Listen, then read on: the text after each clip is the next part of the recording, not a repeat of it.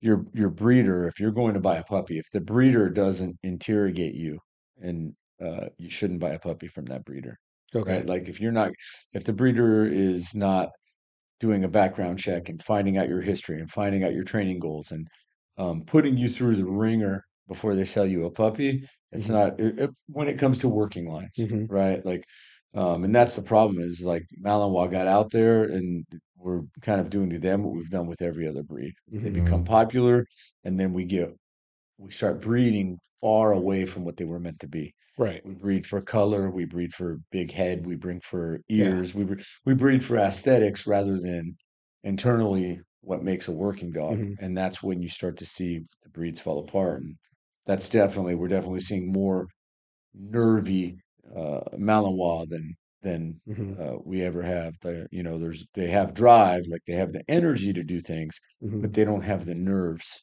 to. It's it's like basically like having a, a motor, uh, you know, some good horsepower, but no brakes.